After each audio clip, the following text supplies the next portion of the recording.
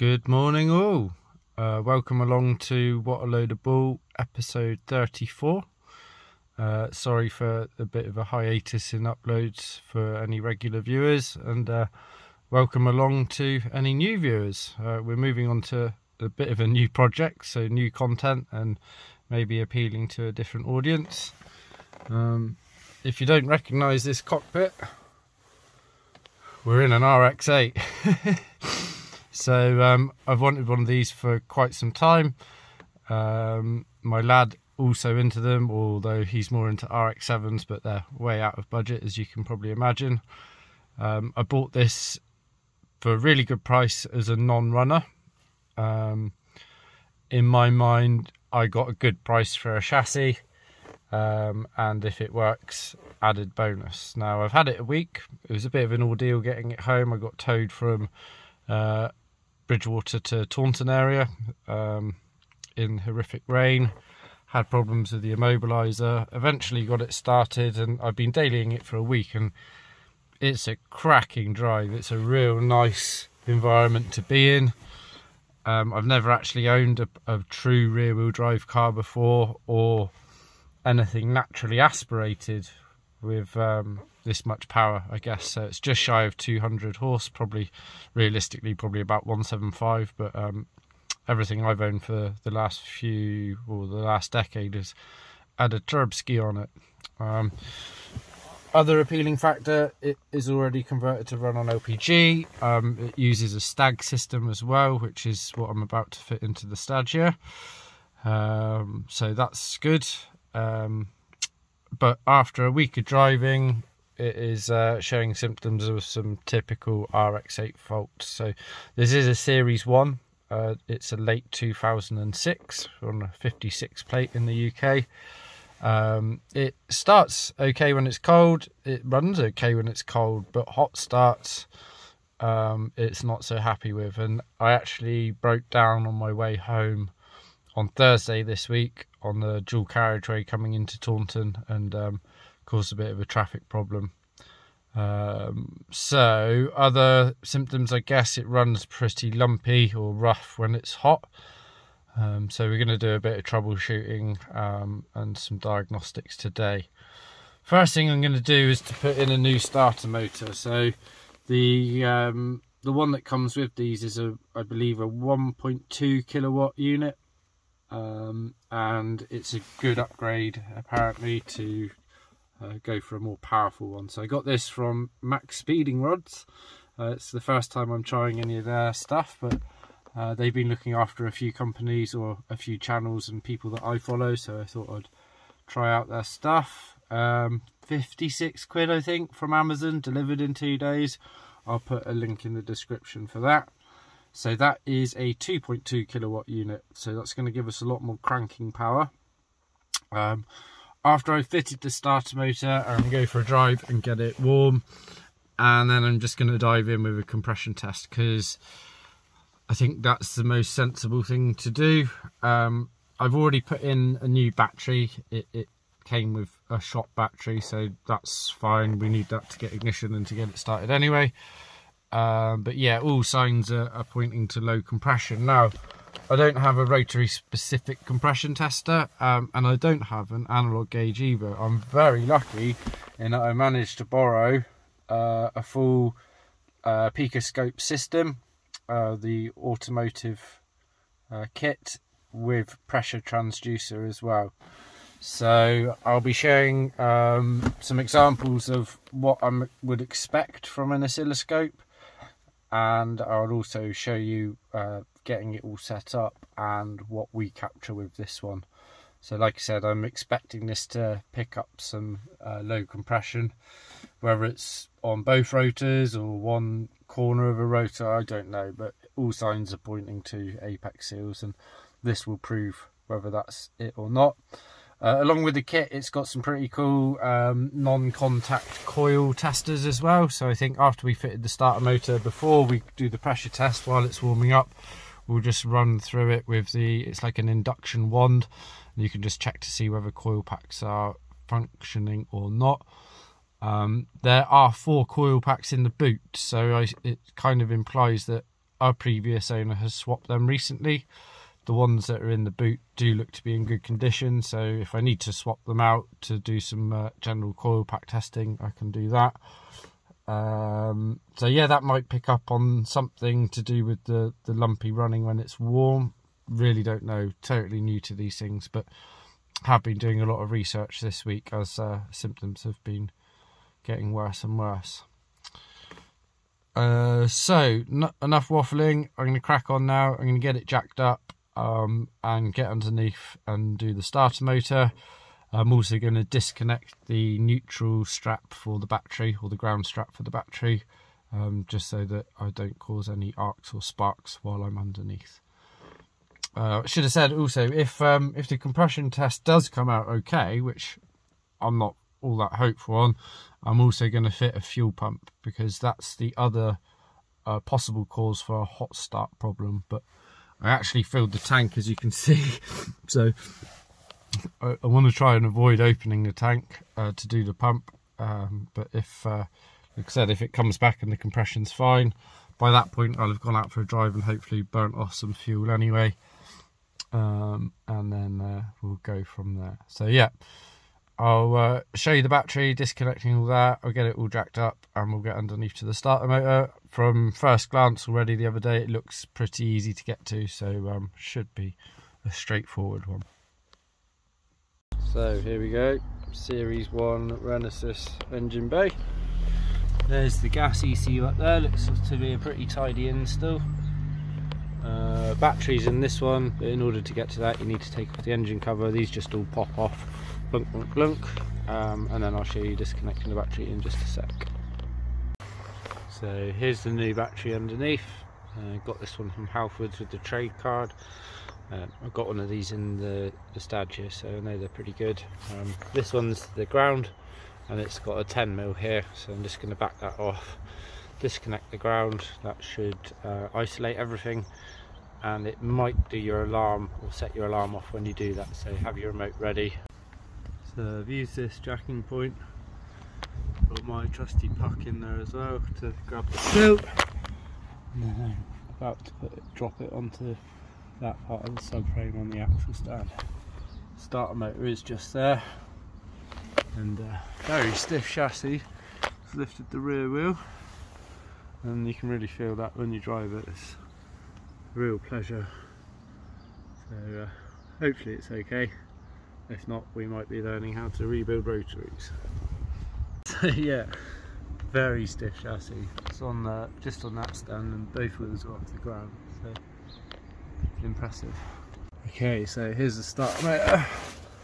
I'm going to take off this black one first. Can't see it all that well. I think that's the signal. And uh, the battery live looks to be under this protective cover. I've got one bolt there, one bolt there. Definitely looks like the original piece, so uh, even if this doesn't fix everything, at least we're, we're putting in a new item and an upgraded one at that. So to get that black one off, it's just a little uh, pressure clip. You just got to pinch it further down on that little step there, and it slides straight off. And then you can get to the protective cap from above, flip that down, and inside there is a 12mm nut, and that's the the live. But you've got nothing to worry about if you have disconnected the neutral as I have, because even if it shorts on something, it's got no return back to the battery. And then the bolts to actually get the starter motor off are a 14 so it looks to be just two one there and then one tucked up in there. I might need a bar on a bar or a bar with a hinge or something to get to that one but I'm sure it'll be straightforward uh, I've changed quite a few starter motors in my day and uh, this is uh, very nice and accessible so well done Mazda on that one but perhaps you should have put in a proper unit to start with just saying. Okay, so that second one actually put up quite a bit of a fight. I had to get a nut extractor on that. Uh, fortunately though I could get to the other end um, to get purchased on this side. So you're to have to find a replacement nut, but I'm sure I've got something. Uh, so in theory I just need to finish off the bolt which I started with, the one which is easy to see and easy to access and then the start motor should just drop out. Okay, so that did just drop out. Um, it's a little bit oxidised around the flanger it mounts on, so I'm going to give that a scrub with a wire brush before I fit the new one, because no doubt that will help with general grounding of the motor. Um, so yeah, let's do that and get the new one in. Okay, so a few differences. This one is hooded, this one is not hooded. Um, in fact, I think it should be that way around. It is listed as a direct fit, but then I have also seen some motors listed as, as hooded, so we'll see. Um, these look like they're at a different orientation, but that shouldn't be a problem. So uh, let's sling it in and see how we go. These distances look good. Right, and she's in. So ever so slightly different clocking from the, the solenoid here, but it does all fit. Um, uh, shouldn't have taken all that long, but that one that was up there was pretty seized. So I think if you got a better purchase on it than I did to start with, you could probably do the starter motor in, in an hour easily. But that did take me a bit of faffing and I did need a nut extractor. Fortunately I found another nut which fitted on that, so that's all good. Time to clear up all this junk and uh, start it up, see how it sounds. Okay, I have just done one, but I'll show you how much better the crank is now. Don't mind the beep, that's the LPG. So, fired up straight away. Uh, those that don't know, if you, um, there's a little sticker here. If you not up to temp and you had to start it briefly, um, there's a little procedure here. So go up to 4,000 revs, hold it for 10 seconds, 9, 8, 7, 5, 4, 3, 2, 1. Turn the key off with your foot still on the throttle until it completely stops. So that's that. Okay, so now that I know that the starter motor is working and it is an improvement, whether that's fixed the hot start problem or not, it's definitely better.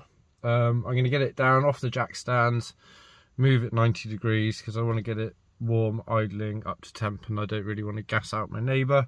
We'll have a play with the Picoscope using the coil tester um, and then after that we'll go for a drive and get it really warm and then uh, come back and uh, do a compression test because you need to be warm when you do the compression test. Okay, so I'm all rigged up with the Picoscope. I'm using the Automotive 7 software and I've got this one here. Morning! Um, it's logging currently and if I jump onto each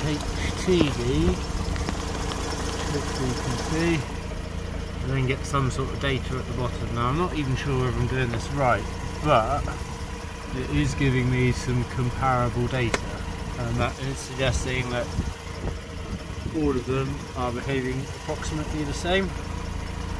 But I think what I'll do is go for a drive, get it warmed up and then come back and try and do this one uh, uh, again. But so far that uh, seems like it's working. Well, that was a relatively warm start and that fired up straight away with the new start motor so that is reassuring. Does feel a bit lumpy though. So um, I'm to go out, do a little test drive or just get it up to temperature, give it a thrash um, and then get it all jacked up and drop a spark plug on each rotor um, and then do the compression test. So we're back from our warm-up lap. As you might be able to hear, it feels lumpy, not like cool Bridgeport lumpy, like not good. I'm just going to try it on gas a sec because it was really um, yeah, don't like idling on gas. That's how I got stuck the other day. It was the first time I was um, using gas and then it stalled on me and then it wouldn't start when it's hot. So fortunately I've got a, a cable coming to uh, tap into the gas ECU so we can have a look at that and retune the idle if we need to. Um, put it back onto petrol, just get out any gas. So I think uh, probably a good idea to try a hot start. So we're definitely warm. So let's go off. And I mean, that went straight away. It didn't do that before. So that is very reassuring. Let's just try it again.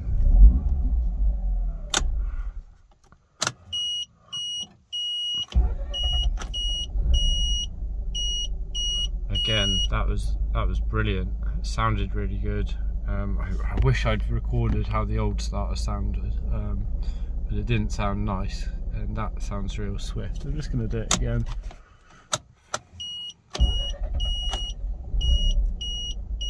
Beautiful.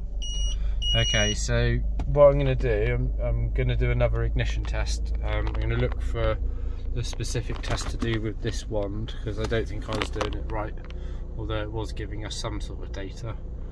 I'll try that um, just to test each coil pack now that it's warm to see whether any of the lumpiness is to do with those. Um, if they all look the same again, I'm guessing that's not it.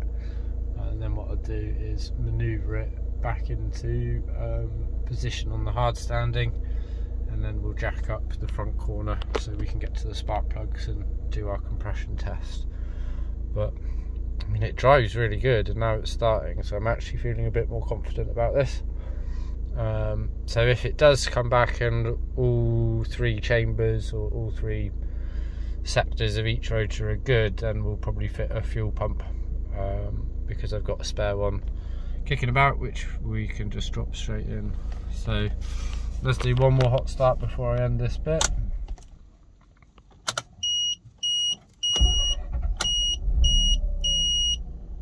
boom. That is a big relief.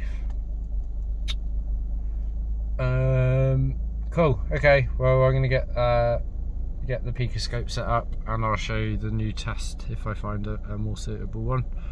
Uh, well I'll show you while I'm testing it anyway just so you can see the data while it's hot. Um, if you are an RX8 uh, wizard and got any tips pointers do do put them in the comments um, I'm a bit of a noob well I'm a massive noob when it comes to these Mazda things but uh, if you can see from my other videos I've gone pretty in depth with the Nissan so I'm not not a noob when it comes to general troubleshooting but this is a, a, a, new learn for me as it were. So do do share some stuff if or if you see me doing something wrong put it in the comments. Do let me know and let other people know as well. Thanks. Right I found the actual one for the coil on plug a secondary voltage test. So that's all set up at the moment. You can see it's actually doing stuff. That's it. Near the battery. That's it. On the ground. That's me holding it in the air.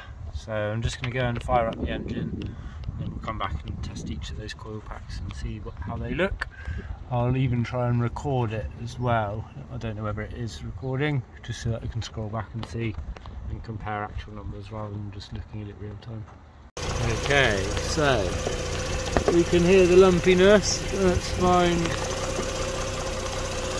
the first lead. Just going there. Okay, so that's definitely doing stuff. Uh, next lead. Oh. That is definitely doing stuff. Let's try and get a better angle on that. So, coil one.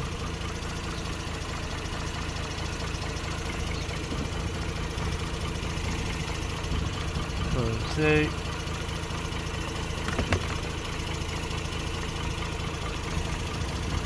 Coil three.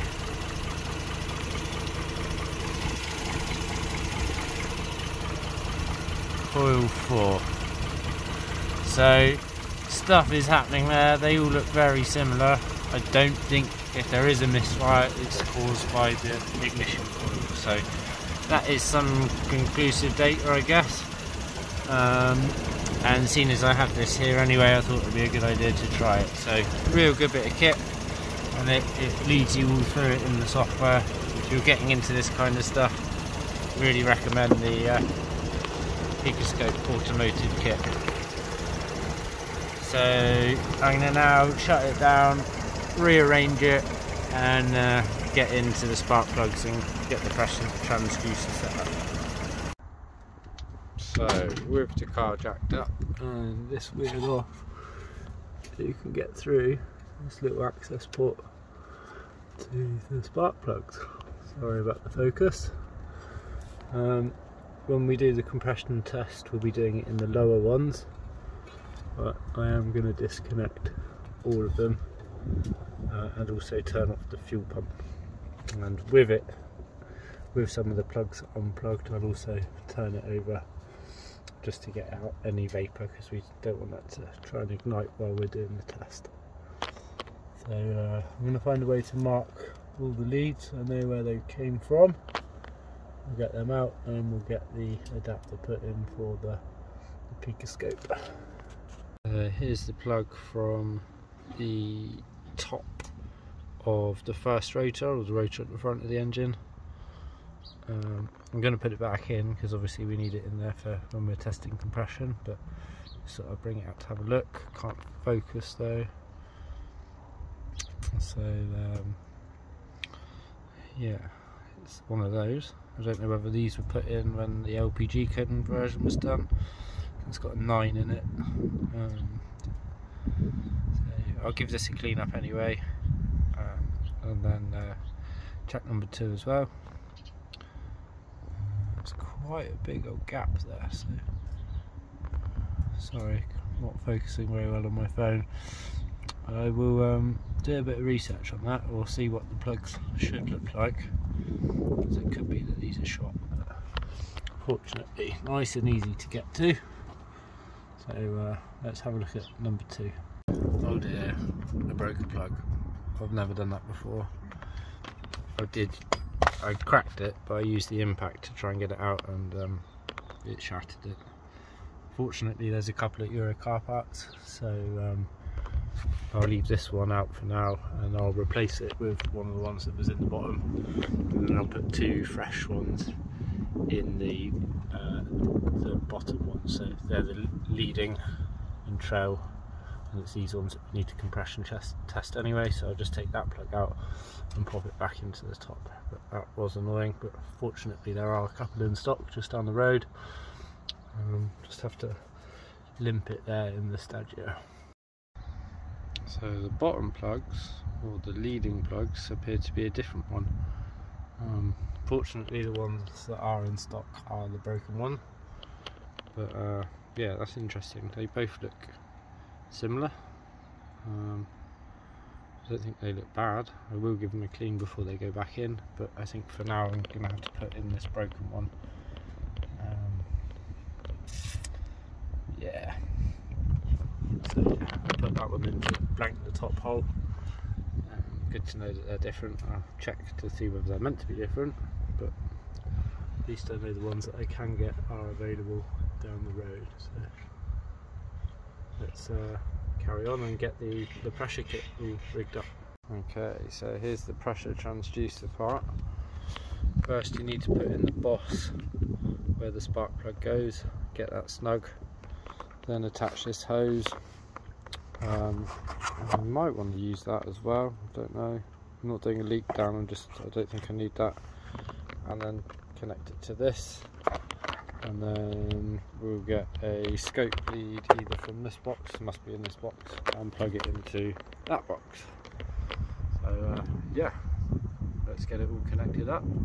So before I do any cranking I pulled out the fuel pump relay because I don't want any fuel. Uh, quite novel being able to actually look at the fuse cover and not translate it from Japanese, so that's quite useful.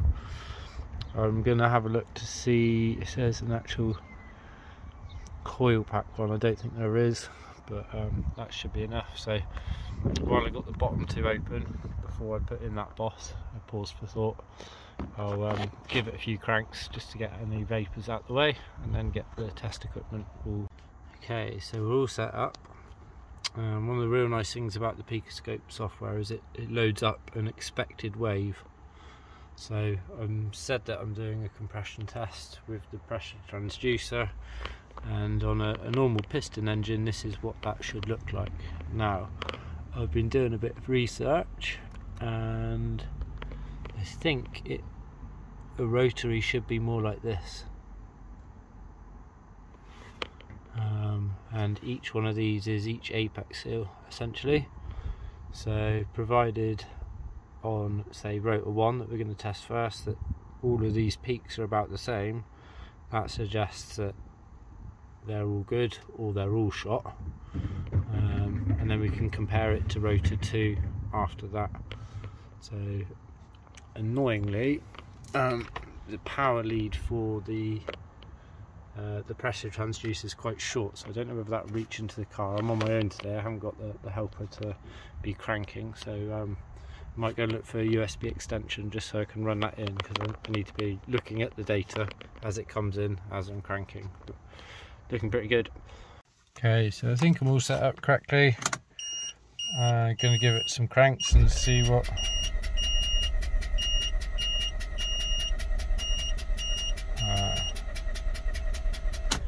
Okay, so looking at rotor 2, we can see that two are sealing the same and one of them is out. Um, these are all a bit closer together as well. Um, but if I then go to rotor 1,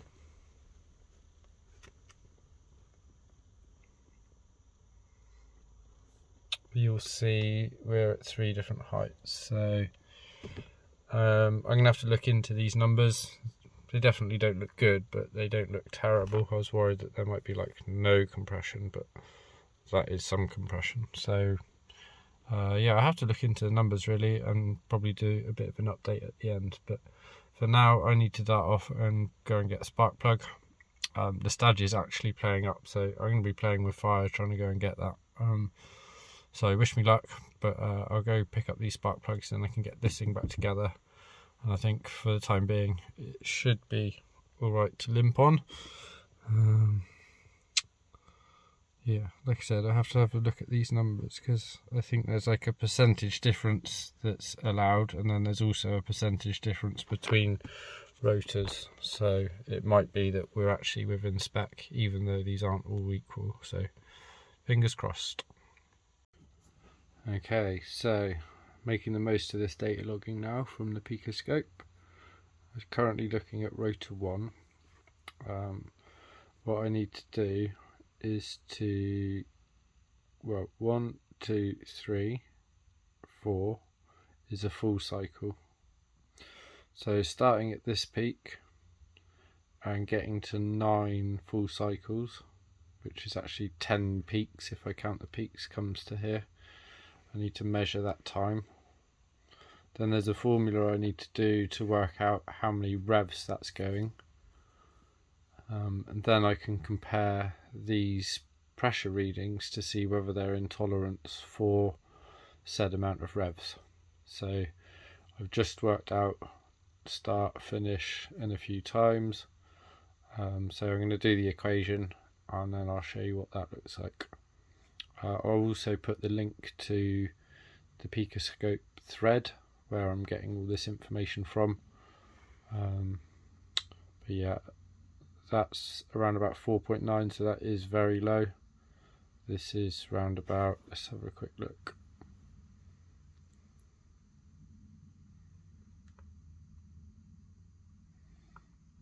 Oh, I'm in zoom mode at the moment, it won't let me do that, but I will show you that in a sec anyway. Okay, so here's all the maths. Um, this number is the duration for 9 revs. Then we do 9 times 60 equals 540, 60 seconds. Divide that by 9 revs, 1.7, gives us our RPM, so that was just shy of 320 for rotor 1. And then I've done the same again, 312, negligible. Um, so then I've gone back through and looked at the peaks. And on rotor 1 we're at 5.6 bar, 5.3 bar and 4.95 so added them up divided by 3 the average for that is 5.2 um, looking at rotor 2 slightly better 5.8 5.75 5.46 average of 5.67 now there is a difference of 10% between rotor 1 and rotor 2 um, but these numbers are way way way low. I've just been looking uh, online at a few graphs and things like that and um, uh, at 300 rpm I should be seeing nearer to um, 8 bar so I'm quite a way off it is starting when warm or it was okay so I might see whether the starter motor band-aids it for a bit. I don't think I'm going to bother fitting the fuel pump because um, well I don't think that's the issue it's the definitely compression. So I will um, it's all back together now it's on its wheels.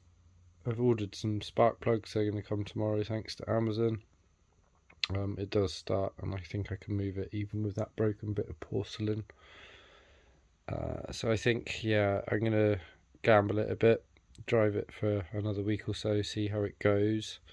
Just be really cautious with hot starts um, and then probably look to rebuild the engine myself. Um, I think I can get all the seals and stuff from Mazda. There's a Mazda garage quite nearby.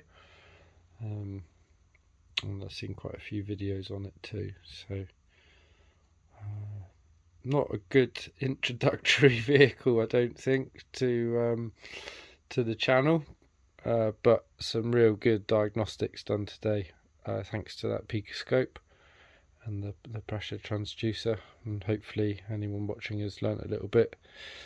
Whether you didn't know anything about rotaries before, whether you did, um, hopefully we've learnt some stuff together because like I said already this is all new to me.